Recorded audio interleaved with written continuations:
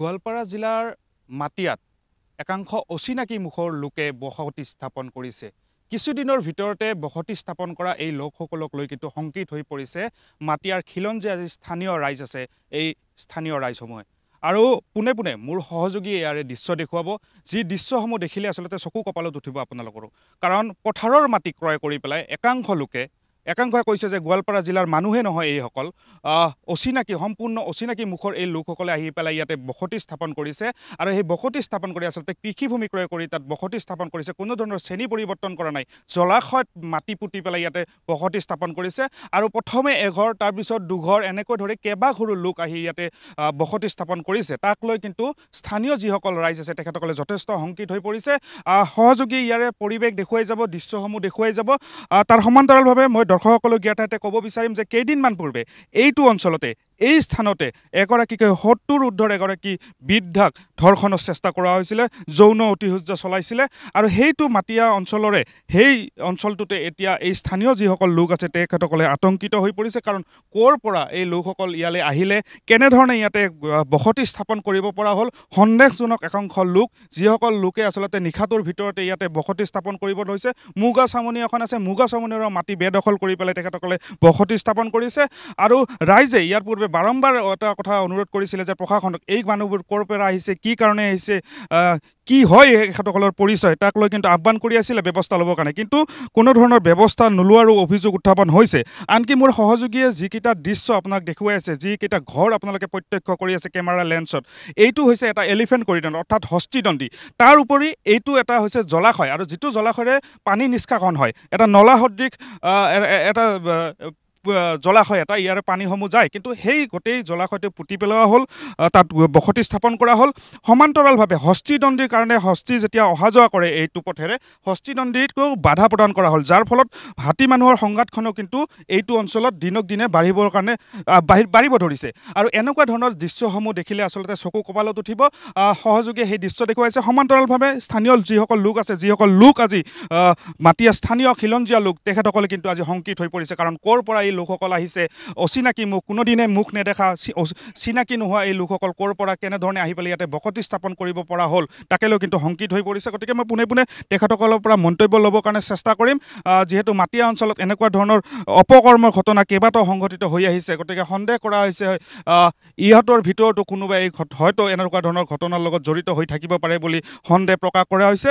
কি ক'ব আচলতে অতি আশ্চৰ্যজনক কথা। ক'ৰ পৰা কেনেধৰণে এই লোকসকল আহি পেলাই ইয়াতে বসতি স্থাপন কৰিবলৈ মানে কৰিবৰ কাৰণে সাহস গোটালে আচলতে সেইটোৱে কিন্তু ডাঙৰ প্ৰশ্ন। হয় আমি এতিয়া আমি আমি নিজেই আমি পঞ্চাছ পঞ্চাছ ঊৰ্ধ আমাৰ পঞ্চাছ বছৰ বয়স হৈ গ'ল। আজি বিগত কেইবছৰমান আগৰ পৰা ৰাতিটোৰ ভিতৰতে পাতে গজাৰ দৰে চাৰিওফালে একোখন একোখন মানে গাঁও গঢ়ি উঠিছে। এই টিঙৰ সাধাৰণ টিঙেৰে প্ৰথমতে বেৰ দি লয় তাৰপিছত ৰাতিটোৰ ভিতৰতে তেওঁলোকে গছ বিৰিখ লগাই পেলাই পুৰণা গছ বিৰিখ লগাই পেলাই তেওঁলোকে বসতি স্থাপন কৰে। এইটো আপোনালোকে যদি দেখুৱালে এয়া একচুৱেলি আমাৰ পানী যোৱা এই বৃহত্তৰ অঞ্চলৰ পানী যোৱা ৰাস্তা আছিলে। এক- একমাত্ৰ এটাই পথ। এই বৃহত্তৰ উত্তৰ মাটিয়াৰ পানীখিনি গৈ পেলাই দুধনৈ নদীত পৰিছিলে। তেওঁলোকে এনেদৰে বসবাস কৰাৰ পিছত ঘৰ বান্ধি মাটিৰে পুতি পেলাই দখিনি দ বকাই পেলাই বৰি মাটি কৰাৰ পিছত এই পানী যোৱা পথটো একমাত্ৰ পথটো বন্ধ হৈ গ'ল। আৰু এয়া আছিলে ইলিফেণ্ট কৰিডৰ একচুৱেলি আজি বহু বছৰ ধৰা ধৰি এই ৰাস্তাৰে হাতীবোৰে পাৰ হৈ গৈছিলে। এতিয়া এই ৰাস্তাৰে হাতীবোৰ পাৰ হ'ব নোৱাৰে তেওঁলোকে পথ সলনি কৰি যেনি তেনি ঘূৰি মানুহৰ ঘৰৰ মাজেৰে গৈ পেলাই হাতী আৰু মানুহৰ সংঘাত বৃদ্ধি কৰিছে। আৰু এইসকল মানুহৰ আগমনৰ পিছৰ পৰা আমাৰ এই বৃহত্তৰ অঞ্চলত অপৰাধজনিত ঘটনাৰ সংখ্যা দিনক দিনে বৃদ্ধি পাই আহিছে। স্থানীয় আমি বাসিন্দাসকলে মানে হাঁহ কুকুৰা গৰু ছাগলী পুহিব নোৱাৰা অৱস্থাত পৰিছোঁ এতিয়া। তেওঁলোকে আহি পেলাই চুৰি কাৰ্যত লিপ্ত হৈছে বিভিন্ন চুৰি কাণ্ডত তেওঁলোক জড়িত হৈছে। পেলাই সত্তৰ ধৰ এগৰাকী মহিলাক শ্লীলতা হানি কৰিলে। সেই একেটা সম্প্ৰদায়ৰ মানুহে এই অচিন মুখৰ অজান মুলকৰ এইবোৰ মানুহৰ আগমনে আমাৰ এই বৃহত্তৰ অঞ্চলৰ স্থানীয় বাসিন্দাসকলৰ প্ৰতি ভাবুকি কৰি আনিছে। হৈছে নিশ্চয়কৈ। মুগা চুমনি এখন আছে। মুগা চুমনিখনৰ মাটিও বেদখল হোৱা বুলি আমি জানিব পাৰিছোঁ। কি ক'ব অঁ, এইখনতো ঊনৈছশ তেসত্তৰ চনত ইষ্টাব্লিছ হোৱা মুগাচুমনিখন আৰু ইতিমধ্যে অধিক সংখ্যক মাটি বেদখল হৈছে আৰু যিটো যোৱা তেৰ জুলাই তাৰিখে পিৰুবলাৰ এক ধৰ্ষণ কাৰ্য সংঘটিত হ'ল এইখিনি ঠাইতে। আৰু এই যে সাহস হৈছে এই যে ঘৰবিলাক দেখা পাইছে আগতে ইয়াত পিৰুবলা ৰায়হঁতে ইয়াতে ভুই ৰুইছিল মাছ মাৰিছিল। তেওঁলোকৰ গৰু ছাগলী এইখিনিতো ষাঠি সত্তৰ মিটাৰ। নিশ্চয় বিচাৰি আহিব। ইয়াত যদি আহি ধৰ্ষিত হ'ব লগা হয় সাহসটো ক'ৰ পৰা পাইছে? এই যে অচিনাকি মানুহখিনি আহিছে এতিয়া চাব এই ঘৰৰ পৰা ওলালে এইখিনি আপুনি য'ত খাৰা হৈ আছে এইখিনি পাত্তাৰ মাটি ব্যক্তিগত।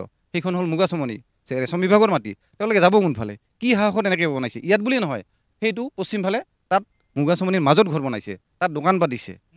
কিমানটামান পৰিয়াল ইয়াতে ইয়াত এশ ত্ৰিছটামান হ'ব। এইটোত যে ঘৰ দেখা পাইছে ইয়াৰ পৰা ইউ টাৰ্ণ লৈ পশ্চিমফালে তাতো মানে ঘৰ বনাইছে। আৰু এইখিনি হ'ল একদম পাট্টা দ কৃষিভূমি এইটো নাৰজুলি বুলি কয় মাইতাৰ ডবা বুলি নাম পুৰণি নাম। আৰু আগৰখিনি কয় ডাঙৰজুলি ইয়াতে আগতে আমি স্থানীয় মানে কৃষকসকলে মৰাপাত জাক দিছিল। এতিয়া তাত মৰাপাত জাক দিব নোৱাৰে। এতিয়া তাত তেওঁলোকে নাৰিকল তামোলটো ইতিমধ্যে খোৱা আৰম্ভ কৰি দিছে।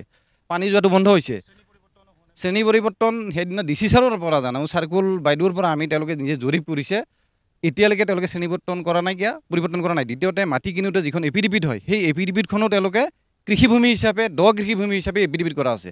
গতিকে আমাৰ এটাই ডিমাণ্ড অতি শীঘ্ৰে এই কৃষিভূমি পানী যোৱা ৰাস্তাটো মুকলি কৰি দিব লাগে। আজি কিছু বছৰৰ পৰা হাতী বিচৰণ হয়। মই নিজে ভুক্তভোগী বনৰীয়া হাতীৰ আক্ৰমণৰ পৰা এইটো ৰাস্তাৰে হাতী অহা যোৱা কৰে। গতিকে মুখ্যমন্ত্ৰীক এটাই অনুৰোধ অতি শীঘ্ৰে কৃষিভূমি ভূমি আইনৰ অধীনত উচ্ছেদ দিব লাগে।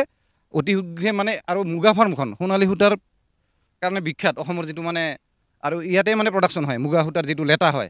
গতিকে ইতিমধ্যে তেওঁলোকে গছ পুলিবিলাক উঠাই উঠাই দি দিয়ে। ইয়াত আজি সোতৰ বছৰে যিজন বিষয়া আছিল সোতৰডাল গছ ৰুব পৰা নাই তেওঁলোকৰ অত্যাচাৰত। দোকান বনাইছে ইতিমধ্যে এইবাৰতো তেওঁলোকে ৰাস্তা বনালেহেঁতেন। গতিকে আমি এটাই অনুৰোধ জনাইছোঁ মুখ্যমন্ত্ৰীক আপোনালোকৰ চেনেলৰ জৰিয়তে অতি শীঘ্ৰে উচ্ছেদ দিয়ক।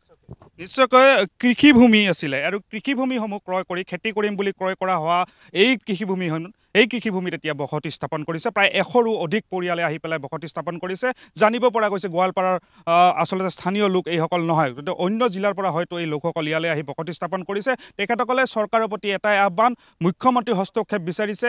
মুগা চুমনি যিখন আছে সেইখন উদ্ধাৰ কৰিব লাগে।